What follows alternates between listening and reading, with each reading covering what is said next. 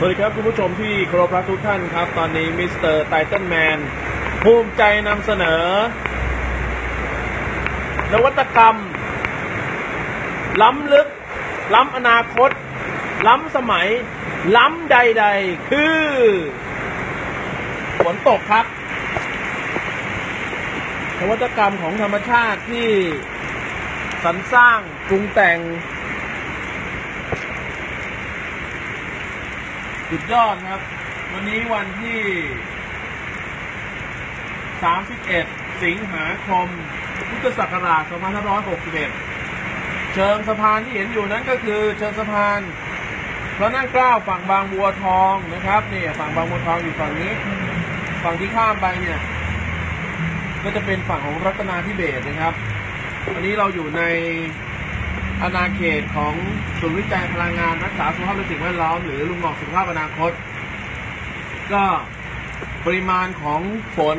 ที่ตกลงมาอยู่ณขนาดนี้ ประมาณที่ปัดน้ำฝนเบอร์สามถึงเบอร์สองนะครับ ตกมาแล้วไม่ต่ำกว่าห้านาที เนื่องจากว่า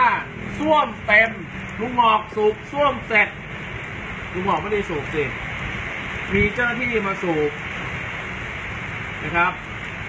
โอ้โห ล่อไปเป็นตัวเลข หลายหลักเลยงงมากเลยแถวบ้านผมสูบ 800 บาทเอง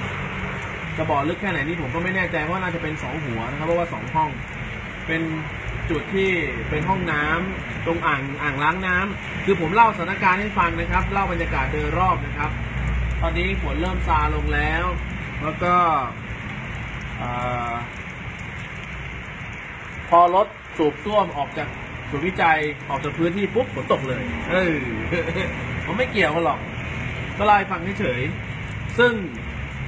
วันนี้เป็นวันอะไรอะ วันพฤหัสใช่ไหมฮะ พุธเดี๋ยวนะพฤหัสศุกร์วันนี้วันศุกร์วันศุกร์วันเสาร์แล้วก็จะเป็นวันที่มีกิจกรรมบรรยายเรื่องตัวเรานะครับ พูดถึงความเป็นเอกภาพ เอกภาพคือเอกะคือหนึ่ง ภาพคือสภาพสภาพความเป็นหนึ่งเดียวของเราที่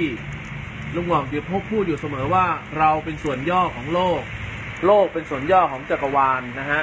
เราก็เท่ากับโลกและจักรวาลทันทีหนึ่งเซลล์สมองเท่ากับหนึ่งเส้นประสาทอะไรสักอย่างถ้าผมจำไม่ผิดนะครับถ้าผิดก็แล้วไปครับไม่ต้องไปถือสาเพราะมันเป็นภาษานะครับ มันไม่ใช่ภาษาผมเพราะว่ามันเป็นภาษาจำภาษาจำมันก็ไม่ใช่ของจริงสำหรับเรา จริงไม่ใช่สำหรับเราคือ เรายังเข้าไม่ถึงความจริงเห็นไหมครับ เมื่อเราเข้าไม่ถึงเราแค่เข้าใจเราก็พอจำได้หมายรู้ แล้วก็ทำดูเอา ถึงวันหนึ่งที่ความเข้าใจนำพาเราไปสู่ความจริงในเรื่องของการเข้าถึงค่อยว่ากันนะครับตรงนั้นจะอยู่ในสมรรถภาพอย่างใดก็ตามตัวนี้ช่วงนี้ก็ดูสภาพของอปริมาณนี่ฮะตกปืดปืดปาดปาดๆเลย ตกมาให้พอรู้สึกว่า เออ มารายงานตัวทุกวันเลยนะ น้ำฝนน้องฝนจ๋าตกทุกวันจริง ๆ จะมากจะน้อยก็ตามช่วงเวลา บางช่วงก็พาน้องลมมาด้วยนะครับน้องลมมาทีนี่พี่หนุ่มก็นะนะครับ น้องฟ้าไม่มาวันนี้น้องฟ้า น้องฟ้ามาน้อยนะครับ น้องเสียงก็ยังไม่โผล่เลย น่าจะไปอยู่ที่อื่นครับ น้องเสียงกับน้องฟ้า น้องฟ้าคือฟ้าแลบนะครับ น้องเสียงก็คือเสียงร้องจากฟ้าแลบนะครับ ก็คือน้องฝนน้องฟ้า น้องเสียงนะฮะนี่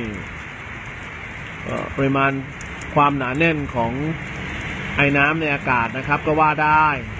หรือความชื้นสัมผัสก็ว่าได้นะครับ ความชื้นสัมผัสตั้งแต่ 60% 80% 90%ถึง 100%นะครับก็มีน้ำหนักเพิ่มขึ้นเพิ่มขึ้นเพิ่มขึ้น เพิ่มขึ้นตามการหมุนเวียนของโลกนะครับ หมุนหมุนของโลกนะพื้นที่ที่มีน้อยก็สะสมพื้นที่ที่มีมากมากเสร็จปุ๊บก็ลงล่วงลงสู่ลงดินนะครับ ก็จะมีแค่นี้นี่คือสารภาพของบรรยากาศการรายงานพิเศษจากกระผมมิสเตอร์ไทเทนแมนขอขอบคุณ